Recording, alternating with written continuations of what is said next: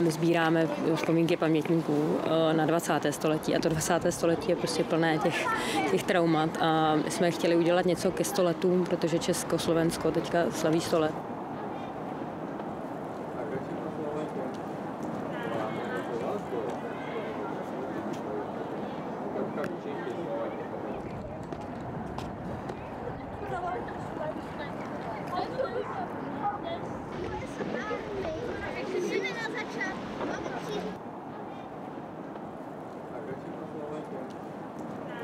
Což je jakoby symbol té výstavy, což je vlastně jako zeď, která um, brání uh, výhledu na Prahu.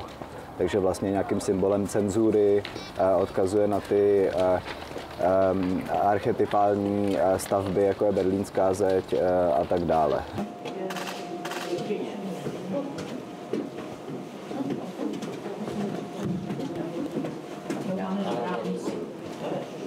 Se člověk rozkouká, viď? No. Tady se, se úplně nerozkoukáte. Vidíš, to je krásný. Nakonec našich rodičů, protože to platí Pro dva. A já se ti netavím.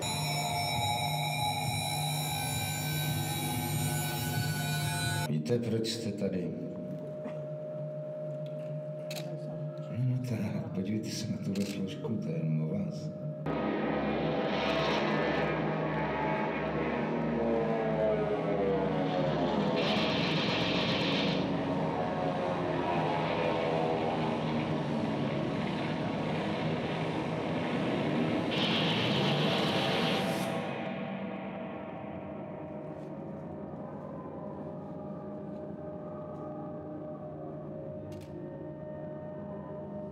Striktně podle zákona. Když jsme to všechno probrali, to tak uh, soud se...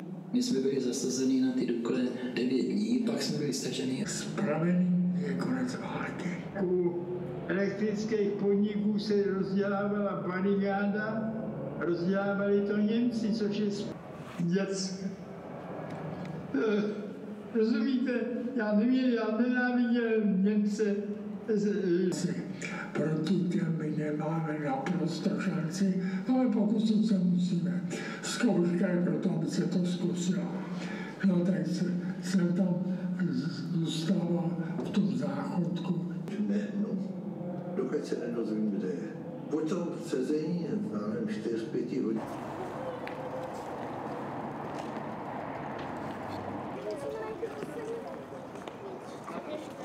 Tím, že vyprávíme ty příběhy, tak jsme chtěli i nějak jakoby, přispět k tomu, aby jsme se zamysleli nad tou naší minulostí a nad tím, uh, aby třeba jsme přispěli k tomu, že se nějak česká společnost vyrovná uh, trošku s, tím, s tou svojí minulostí, s tou hlavně komunistickou, což úplně asi ještě neproběhlo.